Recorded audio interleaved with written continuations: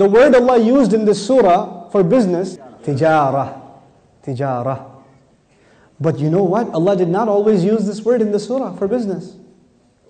Allah Azza wa Jalla says, يا أيها الذين آمنوا إذا نودي للصلاة من يوم الجمعة فاسعوا إلى ذكر الله وذروا التجارة No وذروا البيع He did not use the word tijara for business. He used the word bay' before. Bay'. Bay' actually does not mean business. Bay' means sale. When you're in a business, there are lots, there's lots of works. There's accounting, there's accounts payable, there's the electricity bills. You gotta keep track of everything when you're running a business. And one of the most painful things, of course, if you're like a business owner, so you're, if you're supposed to pay your employees on Friday, then you're a Muslim, you probably go to Jum'ah early. You're supposed to write the check at the time, like, ah, maybe I should go remember Allah, because it hurts too much to sign those checks.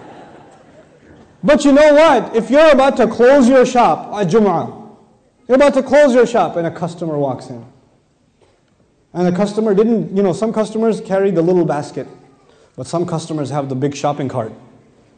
And the customer's putting in things in the cart and he's piling them in and piling them in and his khutbah starts at 115 and it's 110. You know, if you if this was the time to write the checks or to fill out the tax form or to pay the electricity bill, you would shut it down and you would go to salat.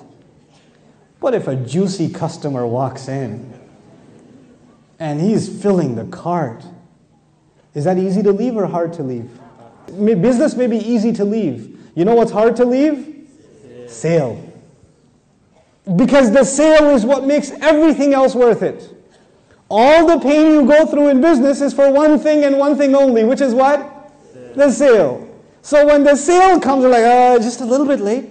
I'll catch the salat. I'll catch the second rak'ah. Let me just finish this sale. It's a very important sales call. Let me finish this first. Allah says, leave the sales call.